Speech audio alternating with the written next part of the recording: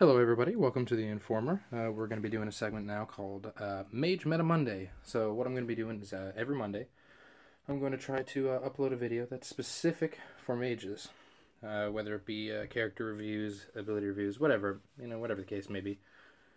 it's going to be based again strictly around mages and building a mage meta party.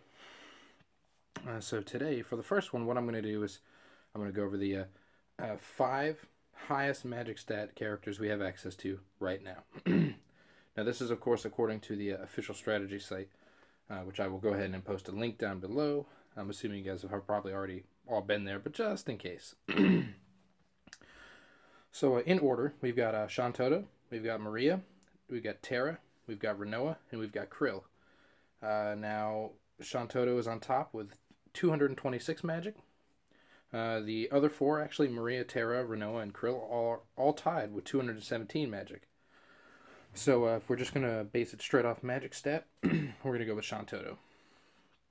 But we got to look into the characters a little bit deeper. Uh, so we're going to start out with Shantotto, and uh, she's got some interesting things. Um, now, aside, I'm not going to talk about their equipment at all because they can all equip rods, and uh, if you're running black mages, they're probably going to be using rods. Uh, unless you're, uh, of course, working with synergy items. That's a whole different story. now, all of these characters have access to at least 5-star Black Magic, or 6-star if you've completed either Ultima or uh, Meltdown uh, Nightmare Dungeons. So uh, what, what I'm seeing for Shantotto here, uh, we're going to talk about her important things as well as the other characters. What I, what I feel personally is most important about these characters. Um, Shantotto has, uh, uh, via her record dive, has access to uh, Darkness 4 and uh, also a 6% increase to her black magic damage. Now, the Darkness 4 is interesting because it gives her access to uh, Memento Mori, uh, which of course will give you uh, an additional magic buff, which is fantastic. Um, her record materia is a moderate black magic damage increase when equipping staves. So that's, uh, you know, goes alongside with like Cloud's moderate damage when equipping swords, etc., etc. Uh, what I find most interesting about Shantotto is that she has a, unique soul break that, aside from the damage that it deals, uh, will reduce uh, her offensive casting time for five turns. Now that can make a big, big, big difference in your DPS. Uh, anyone who's had any experience with Onion Knight Burst Soul Break knows uh, firsthand that a Swift Spell reducing the, the, the cast time, well in his case making it instant, reducing your cast time makes a big, big, big difference. Uh, so overall, if you, especially if you've got her Soul Break, uh, I would definitely suggest use running her in your mage team for sure. Um, she is one of the the few characters, uh, one of the few mages who does have access to level 99. Um, although we are getting more and more, so uh, that's not necessarily something you should be basing anything on at this point. and I'll move on to uh, Maria from Final Fantasy II, of course. Um, now her her record dive will give her access to a four star white magic, which is cool. You can always you throw on a protect or Shellga, depending on your setup. Also, will give her a six percent increase to her black magic damage. Um, from what I've read, in my opinion, uh, all her record materia are totally useless. Um, the the best thing about Maria, in my opinion, of course, uh, would be her burst soul break. Um, the first command uh, deals single target earth and non-elemental damage, up to six hits depending on the uh, the caster's magic, and her second her second uh, command will deal two AOE hits of the same element, but will also boost her magic. Uh, it lowers her defense and boosts her magic in the same way advanced lowers attack and boosts def. I'm sorry, in the same way advanced lowers defense and boosts attack. So that magic boost is actually stackable with uh, everything else except for soul breaks that buff magic and defense, obviously. Uh, so it will stack. It will stack with your Edward shout. Well, you know your your Edward made shout. It will stack with Onion Knight Burst Soul Break. It will stack with uh, Celeste Burst Soul Break. Whatever. um, and I've personally I've used this as a roaming warrior in the uh, Kashuan Keep, Final Fantasy II Moat dungeon. Uh, as a you know, on a suggestion from a, a good friend of mine.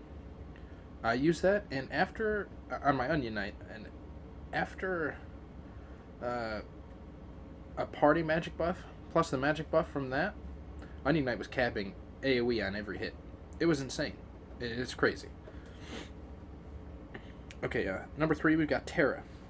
Now, what's uh, most interesting for me personally about Terra is that uh, one of her burst commands is water and non-elemental, and uh, water in a burst soulbreak for a mage is pretty rare.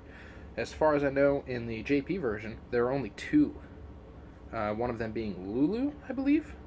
I'd have to double check that, but uh, yeah, there are only two mages with a, a water command on the burst soulbreak, so it's uh, it's pretty interesting. Uh, she does have access to summon five, and her record dive will give her a six percent increase to uh, summon and black magic damage.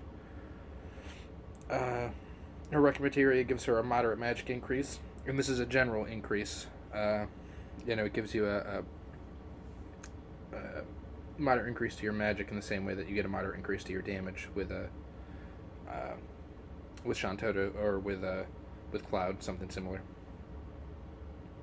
Uh, again, the the number one thing for her is that uh, her second burst command is water elemental, so it gives you a little bit of a little bit more water uh, element with your mage team. Uh, number four, we've got Rinoa. Now, her burst soul break is pure damage. It's It doesn't have any gimmicks, there's nothing on top of it. It's just like Cloud's. Four single hits, two AoE hits. Uh, they're both ice and non elemental. I'm sorry, ice and earth. And, uh, I mean, the damage is decent. The entry damage is okay, but the, uh, the command damage is pretty decent. Um, Record Dive will give her access to uh, staves and it will also give her 6 6% increase to black magic and summon damage. Um, her uh, record materia are all based on damage. Her third one is just like her second one, it just gives a, a larger increase to your magic damage. Um, it specifically says increases the damage dealt with black magic spells.